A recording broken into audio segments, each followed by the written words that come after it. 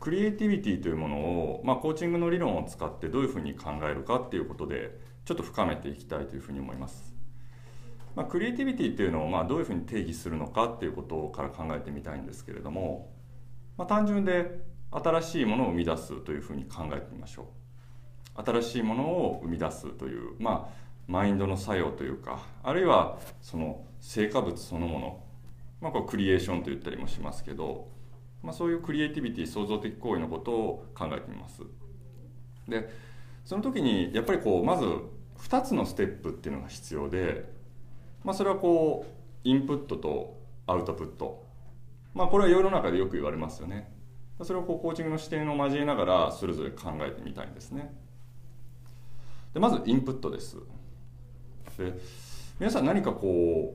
う新しくこう作り出す時それはこう情報化されたものではなくて分かりやすい物理的なものでいいと思うんですけれども、まあ、料理なんかを考えてみましょうか、まあ、僕自身は料理をほとんどしないので、まあ、半ば想像に近いんですけれども何かこう新しいこう料理を作り出す。それは別に新しいメニューを作り出すという意味ではなくて、まあ、今ないものを新しく料理として作り出すっていうことを考えてみてほしいんですけどパスタなんかでいいですよ、まあ、そこにこう材料となるものがなければいくらこう作りたいと念じたところで作ることってできないですよね、まあ、これ当たり前の話です。パスタであれば、まあ、塩であったりパスタの麺であったり具材、まあ、ソースのこうベースとなるようなまあ具材だったり調味料だったり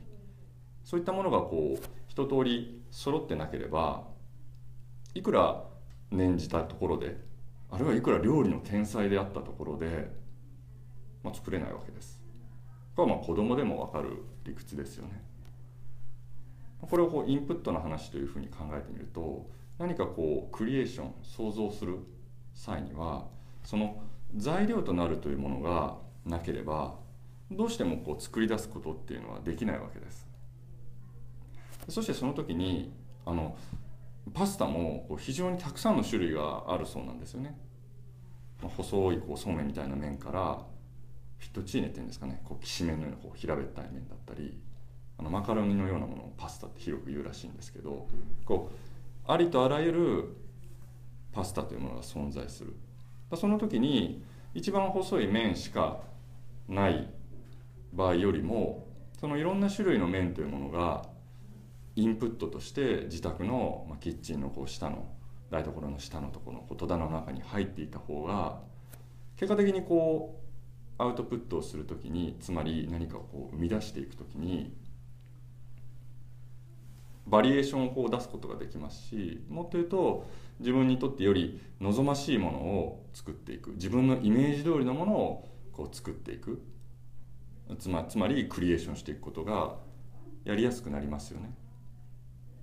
だからそういう意味で言うとインプットするっていう行為だけではなくてたくさんのものをインプットするっていうところまでいって非常にこう質の高いクリエーションクリエイティビティが生まれていくっていうことが一般にこれは言えますよね。今のはまあ料理の例に基づいて話を進めていったんですけれどももう少しこう我々のこう日常というのは料理という物理的な次元に近いものだけではなくて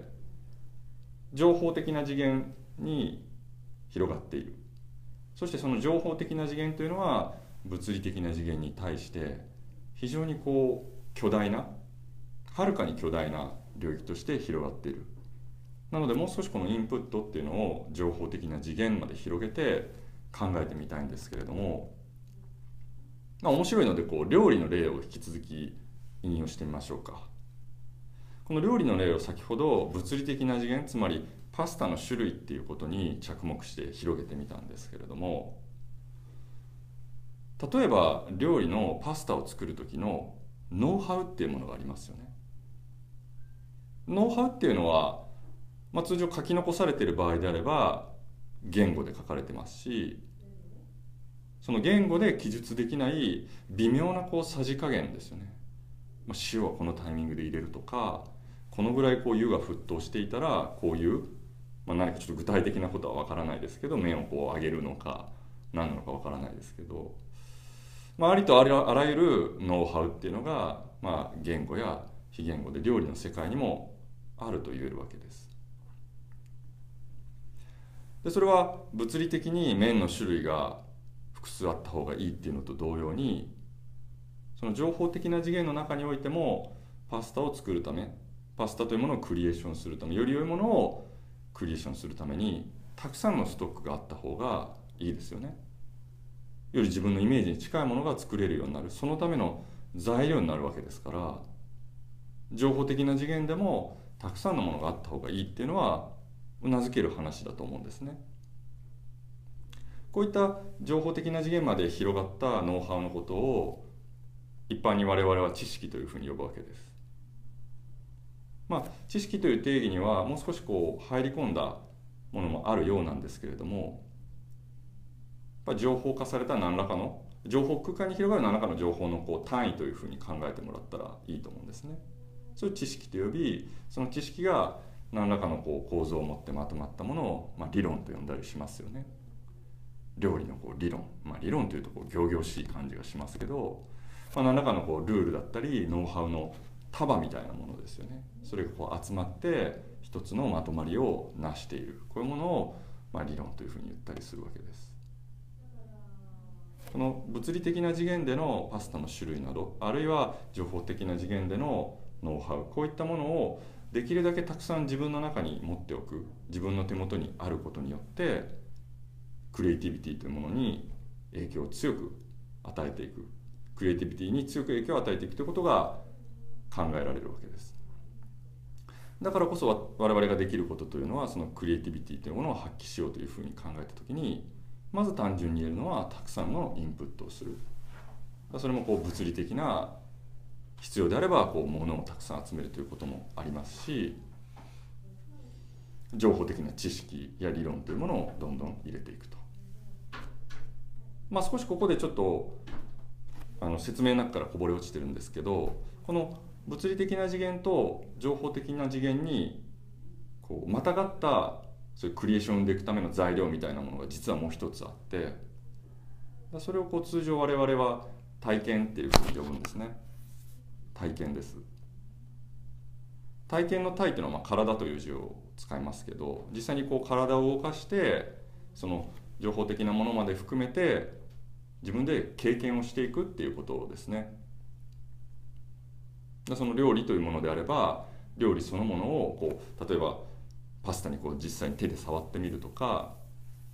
まあ、その本の中で書かれている知識だけではなくそれをやってる人を見に行くとか自分の体まで参加した形での情報これも非常に重要なインプットだということができますね。このようにこうあらゆる情報の世界でさまざまなものをインプットしていくということがこのクリエイティビティを生んでいくクリエーションをしていくための材料になっていくと。この材料は豊富な方がいいですねと。ただこういう話なんです。でクリエーションというものをより質も量も高いものにしていく上でインプットの話に続けてアウトプット。このアウトプットも重要であるという話をしました。アウトプットが重要であるということのロジックというのはさまざまなことを立てることができるんですけれども今日あの紹介したい視点というのはアウトプットをするという行為あるいはアウトプットをしたことによって外に出たもの外に出た、まあ、実際にこう創作されたもの自体がその人にとって新たなインプットになるということなんです。例えばこうして今僕自身は話をしてますよね。それは今まで僕がこうパスタの情報とかなんかこう認知科学の勉強だったりとかいろんなインプットをした結果話をしてるわけです。わかりますよね。そのインプットした材料というのは一回自分の脳の中に蓄えられて、まあ、のマインドの中って言ってもいいかもしれないですけどインプットした材料が揃ってるわけです。で多くの場合人というのはなかなかこうアウトプットをするということに対して抵抗があるようなんですよね、まあ、つい臆病になってしまうというか、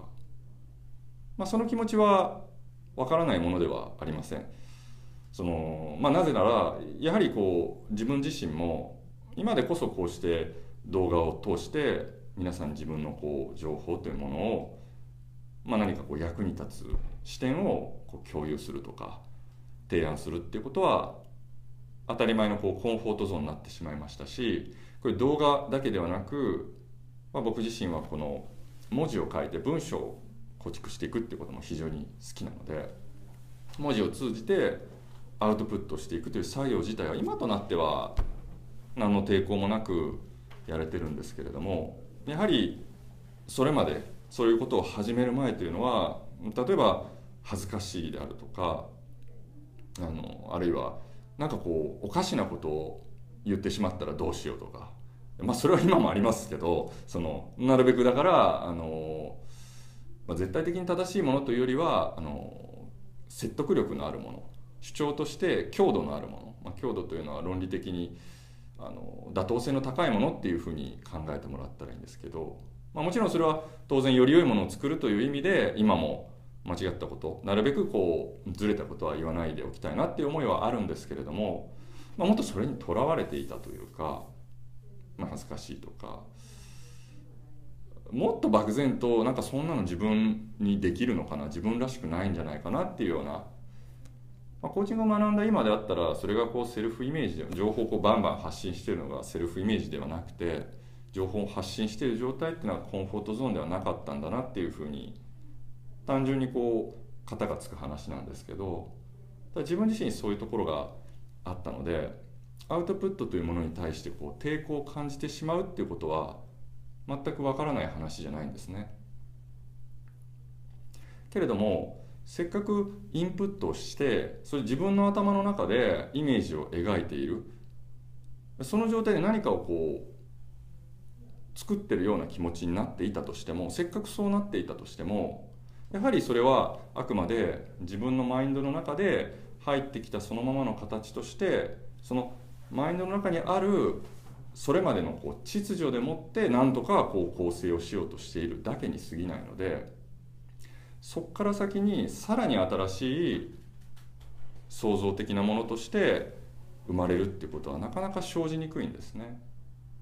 インプットしたものを自分のマインドの中だけで加工して完結させて本当にこう新しいものを作るっていうのはやはり難しいわけです。当然その人の中の固有のその人のマインドの中の固有の秩序という秩序の在り方というのがあるので厳密に言えば入ってきたものを心の中で何かこう考えて、まあ、コーチングではゲシュタルトという言葉を使いますけど一つのクリエーションとしてゲシュタルト化をするっていうことも、まあ、何らかのこうクリエイティブな行為ではあるとは言えると思います。けれどもやっぱりさらにその先にアウトプットを伴うことによってもう1次元も2次元も違うスケールでのゲシュタルトになっていくつまりクリエイティビティが発揮されていくということが期待されるわけですでそれは先ほど言ったようにアウトプットをした情報自体が新たな自分にとっての情報となりその情報をさらに再帰的に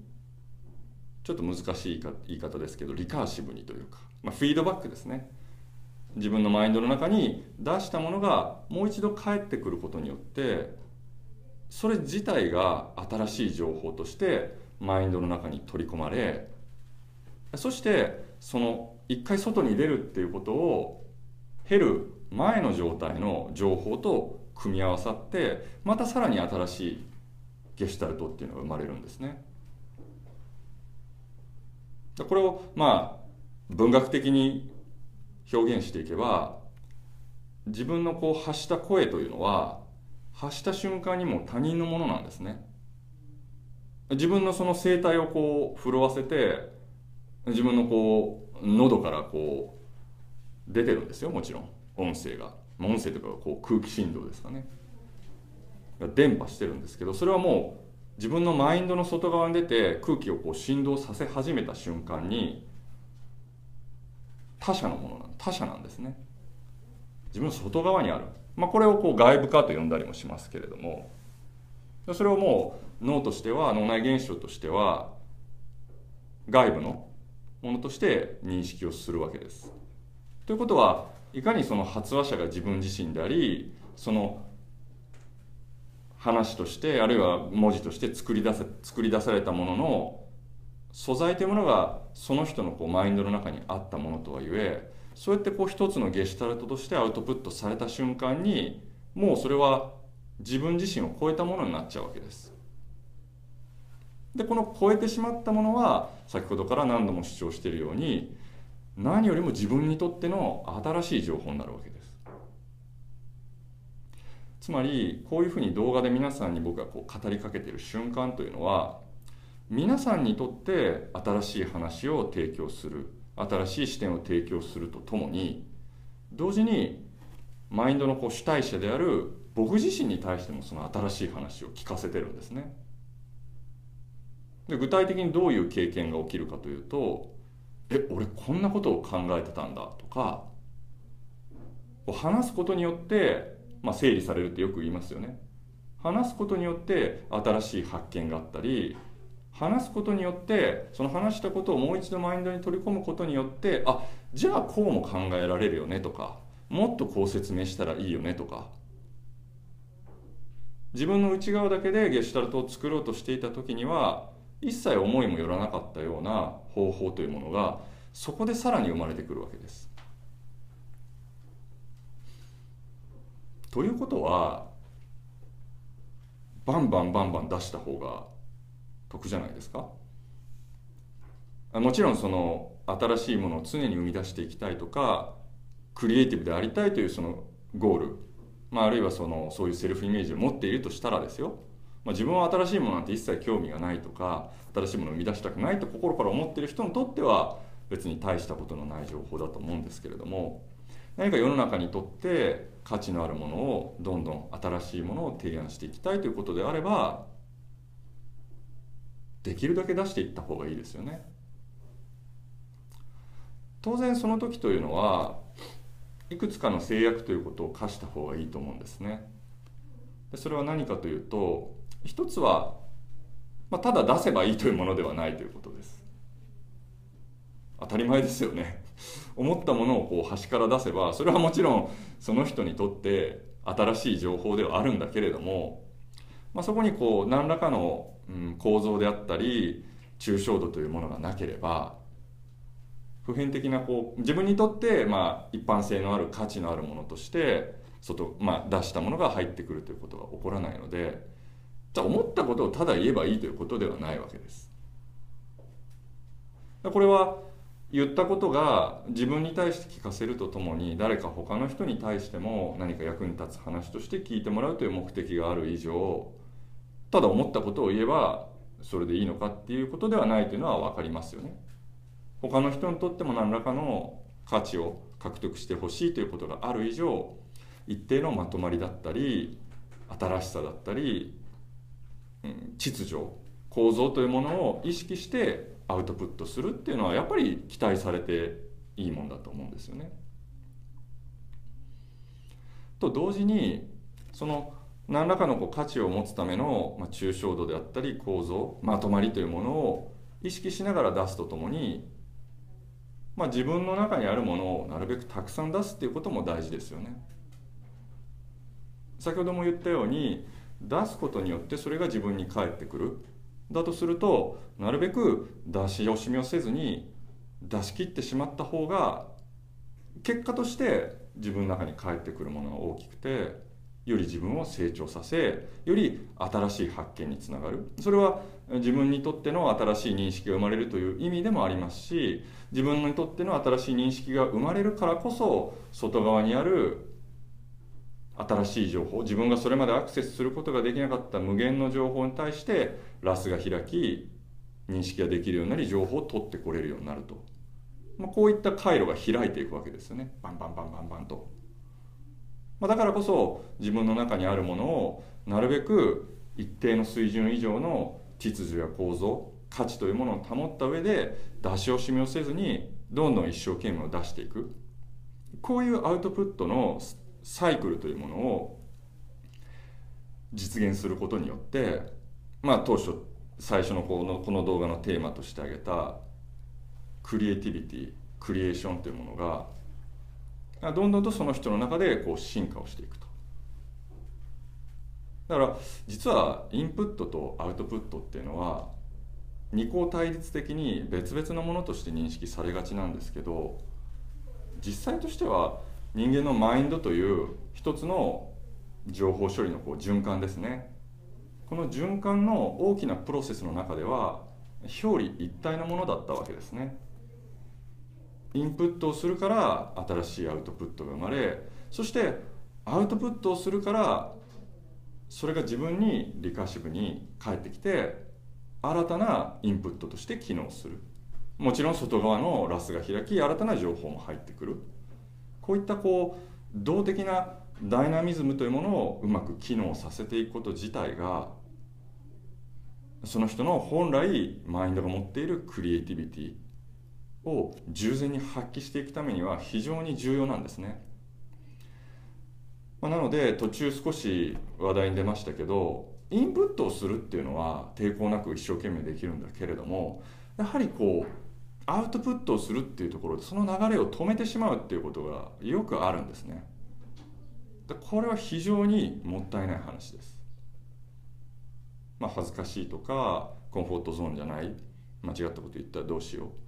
まあ、こういう原因からアウトプットを止めてしまうという実情があると。けれどもそういう人は、まあ、今日聞いた今日聞いてもらった話というものをしっかりとまず理解をした上でアウトプットの重要性というものを今日の議論の上での理解をしてもらった上で、まあ、ぜひ勇気を出してチャレンジをしてみてほしいなと。そしてそのチャレンジをしたからこそなんだ高島コーチはこういうことを言ってたのかっていうことがより分かるようになりますし皆さんの中にすでにある知識やマインドの力クリエーションを生んでいくマインドの力というのがどんどんどんどん機能していきそしてそれがきっと皆さんそれぞれが固有に持つ社会に対して何か提供できる素晴らしい価値を生むに至っていく、まあ、こういうふうに僕は感じるんですね、まあ、なのでそのためのお手伝いがこの動画でできたら嬉しいなと思ってクリエーションというものをクリエイティブクリエイティビティというものをコーチングではどう考えるかという話を展開してみました。では以上です。